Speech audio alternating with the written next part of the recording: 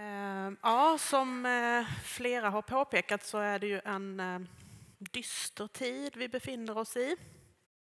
Ehm, och eh, jämställdhetsfrågor tillsammans med massa andra rättighets och demokratifrågor är viktigare att kämpa för än på lång tid. Eh, jag hoppas att det liksom kan ge oss lite kraft i det här arbetet, att vi kan vända det som vi inte är så förtjusta i till någonting positivt. Som Maria nämnde innan så har det gjorts, eller tagits fram en handlingsplan på Folkbildningsrådet som har skickats in till vårt departement. Det gjorde vi i höstas. Ehm,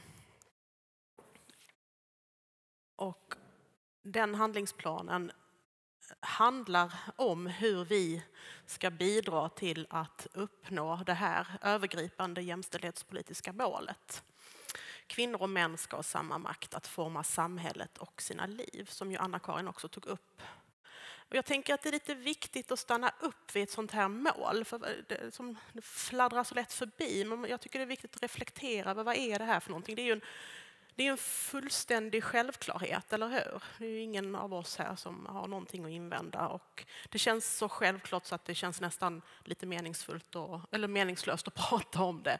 Samtidigt så är vi ju inte här i, i det som vi för ett tag sedan kunde prata om som eh, världens mest jämställda land. Nu, nu kan vi ju inte det längre. Eh, eh, men, men, inte ens här i Sverige så, så, är vi ju här och det tar tid och det är segt och det är trögt och, och vi, vi når inte fram. Och därför finns det ju då sådana här satsningar som Anna-Karin beskrev som jämställdhetsintegrering i myndigheter. Inom folkbildningen så så är vi ju väldigt bra på väldigt mycket. Framför allt på sånt som, som rör värderingsfrågor, rättighetsfrågor, eh, förmågan att se människor, att möta dem där de är. Eh, och, och, det tror jag leder oss i en riktning där vi tänker att det här kan vi, det här har vi gjort, vi, vi är redan här. Eh, men sen så kom ju den här rapporten som Folkbildningsrådet tog fram då 2015 och den pekar ju tyvärr i en annan riktning. Ehm, så vi har ett litet jobb att göra här tillsammans. Och ehm, vi, vi har liksom slagit in på en stig, eh, tänker jag att jag vill se det som, i den här handlingsplanen. Men det är ju bara en början. Ehm, nu, liksom, i och med idag på något sätt, ser jag det som att nu börjar arbetet, för det måste vi göra tillsammans. Och jag ska försöka skissa lite på hur vi tänker oss att det ska se ut. Och, eh, jag, jag, tror inte att, eller jag vet att vi kommer inte gå härifrån med en tydlig karta, men förhoppningsvis har vi liksom kommit en liten bit på vägen. Um, vi har då eh, identifierat tre stycken utvecklingsområden i den här handlingsplanen. Eh, en en del av det här kommer ifrån rapporten då från 2015 och annat kommer ifrån analys av de uppgifter som vi samlar in ifrån er eh, löpande. Ehm, Maria beskrev ju de här problemen inledningsvis när hon pratade. Eh, det blir lite grann en upprepning här, men vi, vi har valt ut då brist, alltså det som vi kallar för brist för systematiskt och in, integrerat jämställdhetsarbete. Eh, det är ett ganska brett område. Eh, det handlar om den här eh, bristen på systematik och på ett integrerat jämställdhetsarbete. Det handlar om de utsagor som har kommit ifrån deltagare och anställda om att det finns begreppsförvirring, det finns okunskap, ovilja och så vidare. Ehm, det är det vi vill ringa in i det här problemområdet. Vi måste försöka gemensamt eh, ta tag i det. Liksom Folkbildningsrådet från vår horisont och ni från era horisonter. Eh, det andra området handlar om könsstereotypa ämnesval och det är ju ett område som, där studieförbundens musikverksamhet sticker ut. Och det är vi väl medvetna om att ni inom studieförbunden vet om och att det pågår och har pågått en hel del insatser. Varför vi ändå vill ha med det i den här eh, handlingsplanen det är för att vi tror att vi behöver göra någonting gemensamt för att liksom flytta fram positionerna. Vi tror att det området tjänar på att nu tar vi med det här också och gör ett ytterligare krafttag. Och det är också så att i och med att det finns en massa initiativ redan så har vi eh, goda förutsättningar för att sätta igång och komma en bit på vägen ganska snabbt hoppas vi. Karin kommer att komma tillbaka till det där med vilka goda exempel som finns ute i verksamheten tror jag sen, hur vi ska använda det. Eh, det tredje området det handlar om kvinnor i asyl och etableringsverksamheterna. Det har ju varit nästan temat för dagen här tidigare. Eh, där ser vi inte så mycket problem. Det, det vi liksom har börjat få in nu i rapporter är att det är en, en könsfördelning som snarare gynnar kvinnor då, om man ser i förhållande till hur stora grupperna som söker sig till verksamheten är och sådär. Eh, men om vi kommer strax till målsättningarna för de här utvecklingsområdena så är det liksom inte bara, det handlar ju långt ifrån bara om hur många människor som befinner sig i en verksamhet. Det handlar också om vad verksamheten innehåller. Så vi tror att det finns eh, liksom goda skäl att titta på det här området för att göra bra och rätt från början. Så de har lite olika karaktär och lite olika inriktning, de här tre områdena som vi har valt ut. Mm. Um. I handlingsplanen har vi då tagit fram eh, målsättningar för de olika utvecklingsområdena. Eh, och när det gäller det här området som handlar om brist på systematiskt och integrerat jämställdhetsarbete så handlar målsättningarna om vad som händer med deltagarna i våra verksamheter. Vi eh, vet att i skolväsendet i övrigt, som har nämnts här tidigare, så utsätts kvinnor och tjejer för sexuella trakasserier till exempel. Det förekommer eh, könsstereotypa förebilder i litteratur och så vidare.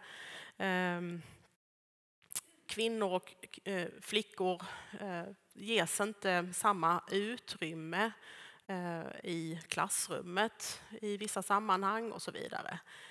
Eh, I rapporten från 2015 att det saknas liksom generellt sett ett integrerat och systematiskt jämställdhetsarbete är det rimligt att förvänta sig att samma problem som vi ser i övriga skolväsendet har vi i våra verksamheter.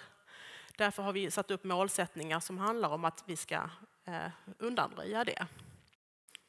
Eh, det blir de konkreta målen för det arbetet. Och när det gäller nästa utvecklingsområde, då, könsstereotypa ämnesval, eh, så, så handlar det helt enkelt om att vända den trenden. Eh, det finns, det, det, vi har fört en diskussion om detta på Folkbildningsrådet Eh, som handlar om att ska, ska, måste vi problematisera den här verksamheten? Måste det vara ett problem att killar går i de här musikcirklarna? Var hamnar de annars? Vem tar hand om de här killarna? Eh, vi är medvetna om att det finns väldigt...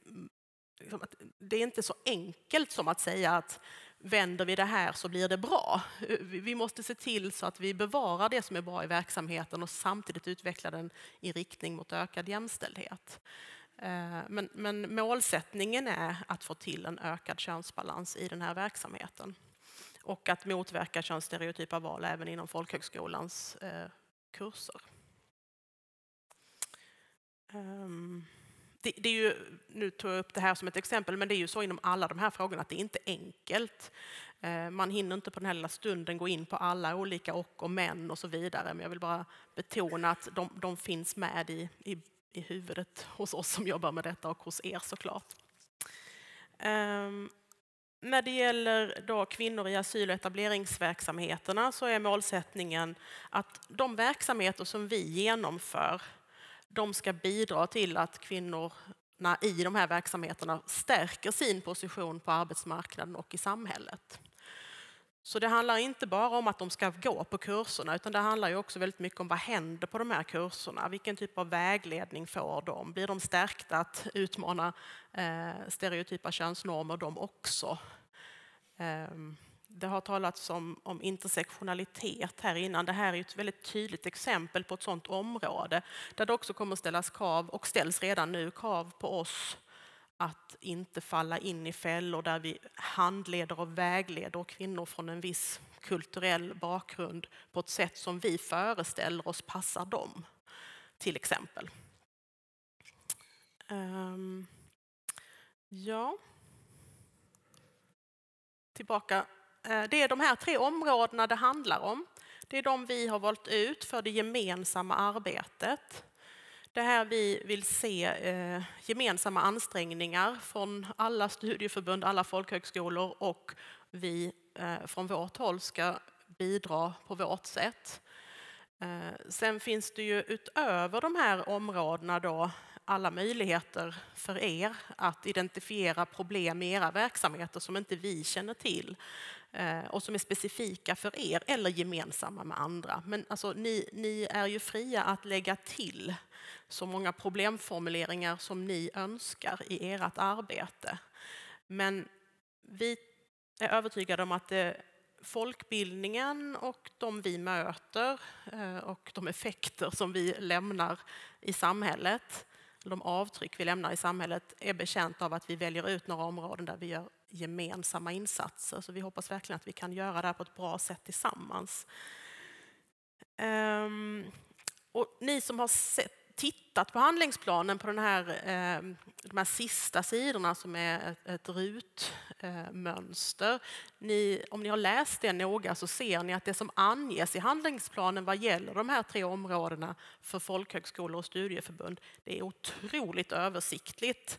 Om det här var en handlingsplan som skulle ha liksom godkänts av någon nitisk granskare så borde den ha skickats tillbaka direkt för det är ingen handlingsplan, det är, det är liksom bara ja, jag vet inte vad man ska kalla det för, men det, det, och det är ju meningen, för det måste ju ni vara med och formulera. Det kan ju inte vi sitta och skriva ut åt er hur ni ska uppnå de här målen. Det som är lite mer utförligt beskrivet, det är ju vad vi ska göra på Folkbildningsrådet. Där finns det ju då en beskrivning dels av vad vi ska göra som handlar om våra interna processer som Maria nämnde innan. Men det finns också en och det är också ganska översiktligt, en beskrivning av vad vi kan göra och ska göra för att stödja er i arbetet mot måluppfyllelse inom de här tre problemområdena. Eh, och det, liksom, det, vi tror att vår roll ska vara det är ju att genomföra studier och kartläggningar. Det kommer finnas områden inom de här tre där vi behöver titta mycket närmare. Hur ser det egentligen ut? Vad är det för processer som styr? Vad är det för strukturer som behöver förändras och så vidare. Ehm, vi behöver se över våra rutiner för uppföljning och statistikinsamling. Det finns säkert en massa felval som vi har gjort där, där vi inte har ställt de här frågorna som Anna-Karin presenterade när vi planerade de processerna. Så där måste ju vi hem och, och gå igenom de här olika stegen i våra processer så att vi i de fall vi styr, styr i rätt riktning. Um, vi ska se över och förändra rutiner för utvärdering och analys. För det, vi har ju inget styrande uppdrag, men alla är ju medvetna om att den som har inflytande över vilka analyser som görs och vilka eh, utvärderingar som görs eh, styr indirekt. Så det måste vi ju titta på. Ja, identifiera processer och strukturer, det nämnde jag innan. Um. Ja.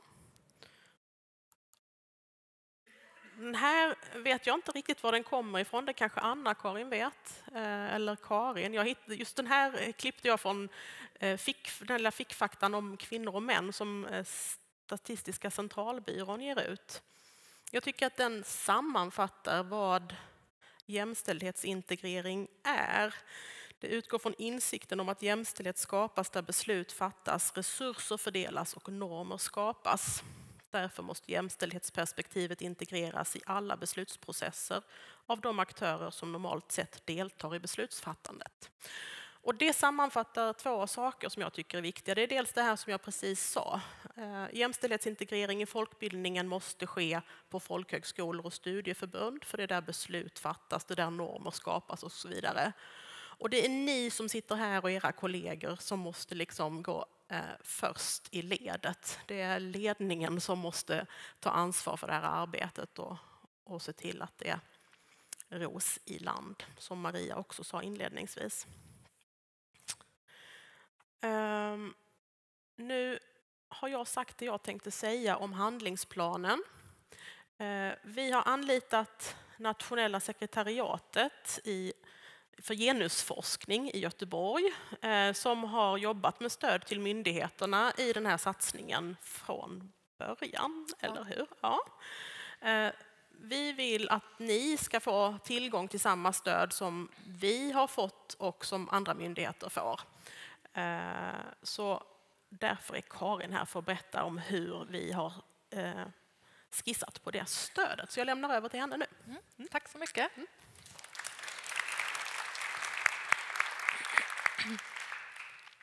Hej allihopa! Jag heter Karin Bengtsson och jag kommer då från nationella sekretariatet för genusforskning där jag jobbar som projektsamordnare.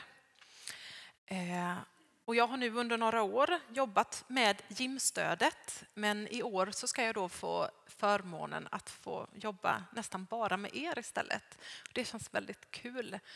Eh, jag har suttit med några timmar nu och lyssnat och det är lite ny värld för mig med folkbildningen men jag hoppas att vi tillsammans kan eh, få ihop våra olika kunskaper och göra något bra tillsammans.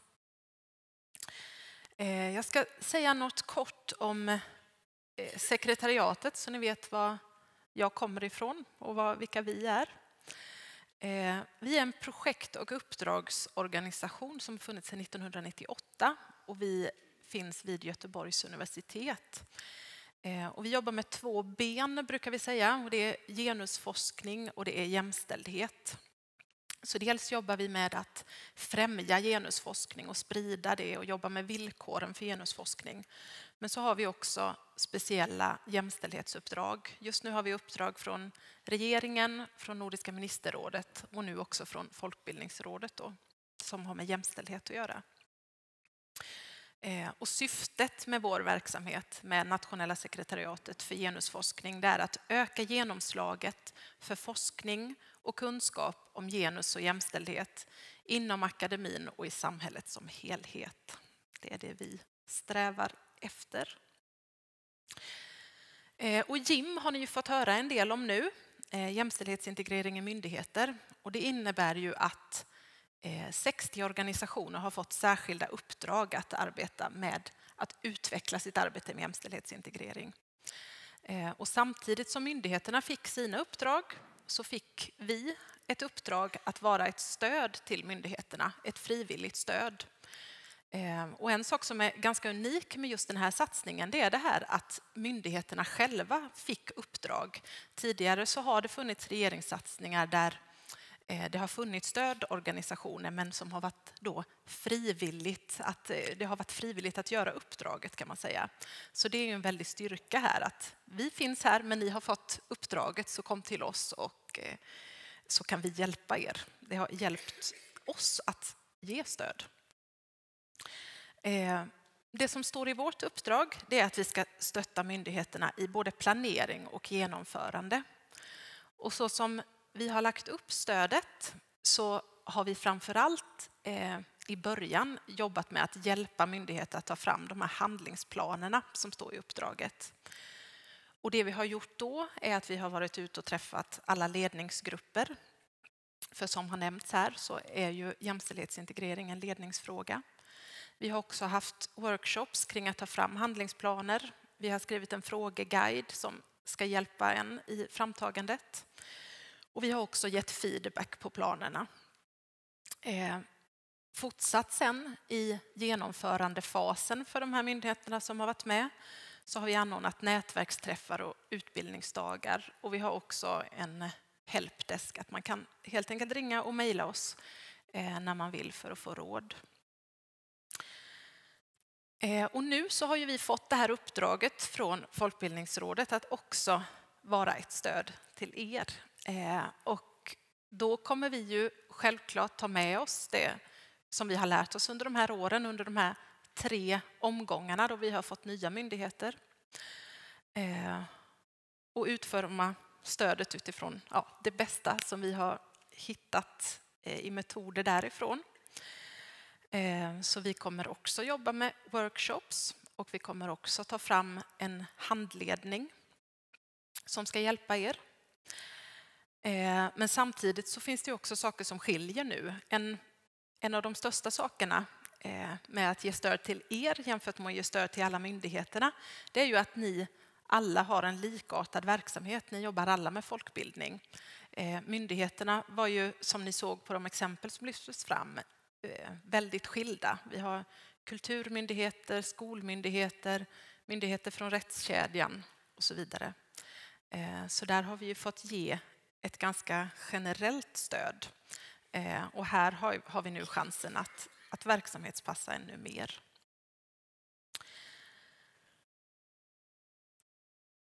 Ja, som jag var inne på, vad är det då som kommer hända under året här? Eh, än så länge är vi ju ganska i, i början av planeringen eh, och det är fortfarande mycket som är öppet och mycket som jag vill ta in från er för att, för att kunna utforma det här stödet på bästa sätt.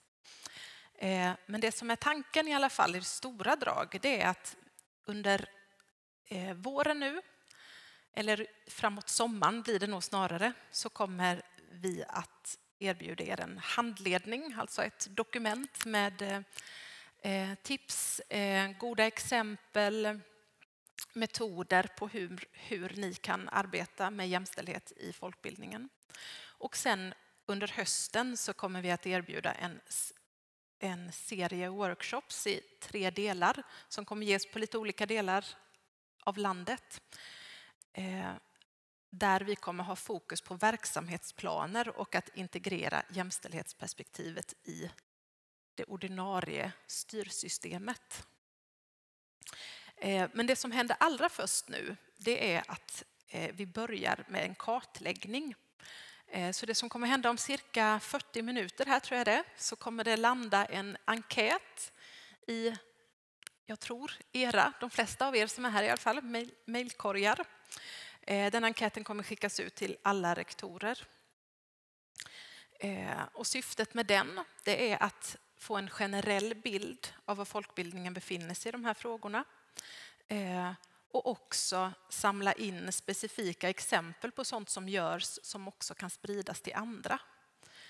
Eh, så där vill jag uppmana er att fylla i den noga och också tänka just på, har vi någonting här som, som vi har lärt oss om jämställdhetsintegrering eller som vi gör som funkar, som vi, som vi vill sprida till fler? Eh, så kommer vi att plocka upp det. Och jag kommer också genomföra besök hos en del av er och också höra av mig per telefon till vissa för att fråga mer, fråga vidare. För att göra kartläggningen så bra som möjligt. Ehm. Ja, som sagt så befinner vi oss verkligen i början nu och jag vill betona detta att stödet kommer utformas utifrån era behov så mycket det bara går. Ehm, men några saker som jag tänkte lyfta som jag eh, har tänkt på hittills när jag har läst på och funderat kring er verksamhet. Eh, så tänker jag att det här med intersektionalitet som nu alla andra talare idag också har lyft eh, kommer bli väldigt intressant att diskutera mer och se hur vi kan jobba vidare med. Det handlar ju alltså om att ta in fler aspekter än kön i jämställdhetsarbetet för att göra det bättre helt enkelt. Göra det mer träffsäkert. Eh, och det som jag skulle vilja lyfta fram är att ibland när man pratar om intersektionalitet eller det här att ta in väldigt många perspektiv så kan man prata om begrepp som perspektivträngsel, hör jag ofta, och att det blir så mycket och hur ska vi hinna med allt? Eh, men jag tänker att just när man arbetar med jämställdhetsintegrering och ska hitta de problem som man ska lösa och sätta mål och så vidare så tänker jag att det här med att ta in flera perspektiv snarare är ett sätt att begränsa sig, eh, att avgränsa, att snäva in vad är det egentligen för problem som, eh, som vi ska jobba med och vad behöver vi då göra för aktiviteter för att lösa dem. Eh, och jag tycker de här målen och utvecklingsområdena som eh, Folkbildningsrådet har tagit fram kan ses som exempel på det. Ehm, vi vet att utrikes födda kvinnor är den grupp på arbetsmarknaden som har svagast ställning. Ehm, och där är det ju flera aspekter som har då vägts in. Det vilket land man är född i och också kön som gör att vi istället för att bara tänka på kvinnor på arbetsmarknaden kan veta att ja, men vill vi förbättra jämställdheten så är det just den här gruppen som vi måste förbättra förutsättningarna för. Eh, och detsamma gäller egentligen det här med könsstereotypa ämnesval. Där vet vi eh, enligt forskningen att de som gör könsstereotypa ämnesval, det är framför allt personer vars föräldrar har en låg utbildningsgrad. Eh, de personer där föräldrarna har en hög utbildningsgrad väljer oftare studieförberedande program på gymnasiet till exempel, som inte är så könsuppdelade, medan eh, de med, eh, som har föräldrar med lägre utbildningsnivå då väljer yrkesförberedande program i en större utsträckning och de är mer könsuppdelade. Så där finns ju klass med som en viktig aspekt för att kunna eh, att ha med i analysen. Eh, jag tänkte också på det här med kvinnor och män som ju har sagts väldigt många gånger idag och jag har väl också kanske sagt det redan. Det handlar ju mycket om det med jämställdhet. Eh, och det kan vara ett problem för att det utesluter vissa grupper, personer som inte identifierar sig som kvinnor eller män. Eh, till exempel. Och där, det är en fråga som vi också väldigt ofta får, precis som Anna-Karin sa här, att hon får ofta den frågan, men hur ska man förhålla sig till det? Eh, och det har vi också fått från många av myndigheterna. Eh, och där tänker jag att jag blir lite nästan nedslagen av att vi får den frågan så mycket, för att vi får ofta frågan, men får vi göra på något annat sätt? Eller liksom, eh, kan man göra något annat för att få in den gruppen också? Eh, och där önskar jag lite mer att ni inte frågade utan bara gjorde. Eh, för att självklart så ska vi eh, fördjupa den här analysen så bra vi bara kan och eh, hitta metoder för att göra ännu mer avancerade analyser av hur ojämställdhet uppstår och vad det beror på och så vidare. Så ja, eh, hitta gärna metoder för det. Och där eh, som Anna-Karin sa så har ju de här eh, politikområdena närmat sig mer och mer. Alltså man kan prata om jämställdhetspolitiken och hbtq-frågor. Eh, och av de här myndigheterna som är med i JIM så är det också fem stycken som är hbtq-strategiska myndigheter. Och tillsammans med dem så har vi under året haft ett erfarenhetsutbyte och vi kommer att presentera en handledning kring hur man kan eh, kombinera de här två perspektiven som ni gärna får ta del av. Eh, om några veckor tror jag att den släpps. Ja, det blev lite utvikning om det, men det är en viktig fråga tycker jag att utveckla metoder för att inkludera fler än de som identifierar sig som kvinnor och män. Eh, ska se vad klockan är.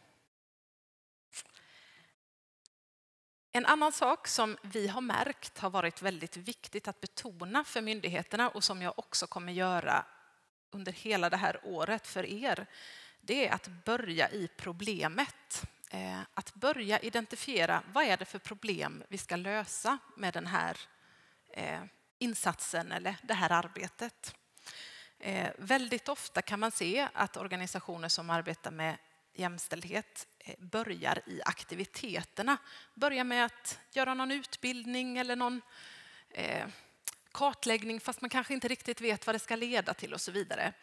Eh, och det som forskning har visat är att de här insatserna som, som inte har ett tydligt syfte, inte har ett tydligt mål, heller inte leder till någonting. Det är ju inte så konstigt egentligen. Eh, så därför har vi betonat väldigt mycket till alla myndigheter att börja i att hitta problemen. Eh, så där kommer ni också få börja. Det är där vi kommer börja eh, i våra workshops till exempel. Och sen utifrån problemen sätta upp mål, planera aktiviteter, sätta upp indikatorer för att mäta målen och planera hur uppföljningen ska gå till. Och vi fick ju några bra exempel här från andra myndigheter, Migrationsverket och Tillväxtverket bland annat.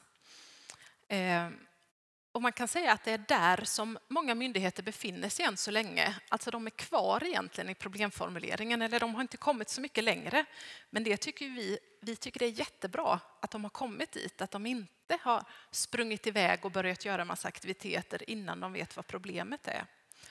Eh, så det är bra att, att det här lyfts som bra exempel, Migrationsverket, Tillväxtverket, Arbetsförmedlingen, trots att de kanske egentligen än så länge mest har upptäckt problemet. Ehm, och problemet då som ni ska upptäcka, det finns ju vissa problem här som Folkbildningsrådet redan har identifierat, men jag tror ni kan komma vidare och hitta fler. Ehm, och för er handlar det också om att hitta ert handlingsutrymme och begränsa er. Man kan ju se jättemycket ojämställdhet runt omkring sig i samhället. Men det gäller att bestämma sig och se vilket handlingsutrymme har vi och vad är det vi ska inrikta oss på. Så det kommer vi koncentrera oss en del på. Eh, och stödet kommer också kretsa ganska mycket kring eh, verksamhetsplaner eller motsvarande vad ni nu kallar det. Eh, för det här stödet kommer ju framförallt handla om att systematisera jämställdhetsarbetet. Eh, och jag hörde innan här nämnas att på många ställen så finns det policies och så vidare men att det inte har gått vidare till handling. Eh, men där tänker jag att det är viktigt att säga bara att det som, som vi kommer stötta er nu handlar inte om att ta fram policies som ska vara vid sidan av verksamheten utan vi kommer börja med att identifiera vilka dokument, vilka styrprocesser är det som på riktigt styr verksamheten och jobba direkt i dem istället för att göra speciella Eh, dokument för detta. Eh, och det innebär också att de här workshopsen, som blir det mm, främsta mötet med er, eh, framförallt kommer rikta sig till eh, ledningspersoner av olika slag, rektorer tänker jag mig, Eh, eller andra personer som har stort inflytande över att skriva verksamhetsplan och att följa upp den. Eh, för det är också ni som ska göra det här arbetet. Så det var väl det jag skulle vilja säga. Jag har väldigt mycket jag kan säga alltid. Men eh, jag skulle bara vilja avsluta med att säga att ni gärna får kontakta mig redan nu om ni har tips, idéer, förslag på hur vi ska göra för att göra det här stödet så bra som möjligt. Och all information om gymstödet och också det material som vi har tagit fram genom åren Eh, och kontaktuppgifter till mig till exempel hittar ni på genus.se. Eh, och ni kommer ju som sagt också få ut en enkät alldeles strax som, eh, där det också finns kontaktuppgifter. Mm. Tack, Tack. Karin.